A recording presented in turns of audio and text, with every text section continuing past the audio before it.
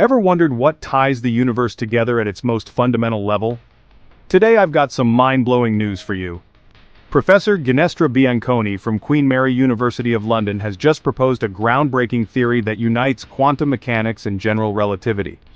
Sounds complicated? Stick with me. She's suggesting that gravity could actually be derived from quantum relative entropy. In simple terms, she's using the concept of entropy, a measure of disorder or randomness to describe gravity. Now here's where it gets really interesting. Bianconi treats spacetime's metric, essentially the fabric of the universe, as a quantum operator. This means that the geometry of spacetime and the matter within it are described using quantum mechanics. She introduces a new concept called entropic action, which measures the difference between the geometry of spacetime and the geometry induced by matter fields. This results in modified Einstein equations.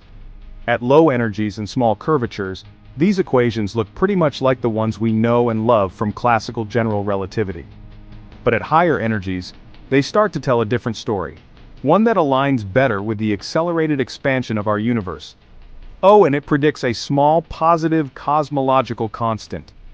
That's a fancy way of saying it fits well with how the universe is expanding faster and faster. But wait, there's more.